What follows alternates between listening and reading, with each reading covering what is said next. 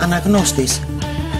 Πρώτη στην προεκλογική ενημέρωση, πρώτη και στην παρουσίαση αποτελεσμάτων.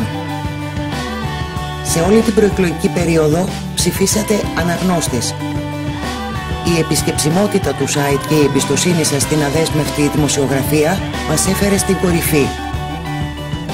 Η εκλογική αναμέτρηση της 26ης Μαΐου. Η ροή των αποτελεσμάτων και τα σχόλια για το εκλογικό αποτέλεσμα. Η δημοσιογραφική μας ομάδα με το άνοιγμα της κάλπης θα βρίσκεται κοντά στα γεγονότα. Συνεχίζει ροή αποτελεσμάτων, πλούσιο ρεπορτάζ από τα εκλογικά τμήματα, από τα εκλογικά κέντρα, από το Υπουργείο Εσωτερικών.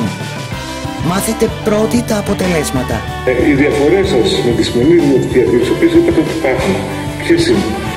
Βάλτε στα αγαπημένα σας το αναγνώστης.org και μάθετε πρώτοι τα πάντα για αυτές τις εκλογές στην Αργολίδα και την Πελοπόννησο. Την έχετε ευχαριστηθεί την προεκλογική περίοδο της ΔΙΤΕ ή σας κουράζεις.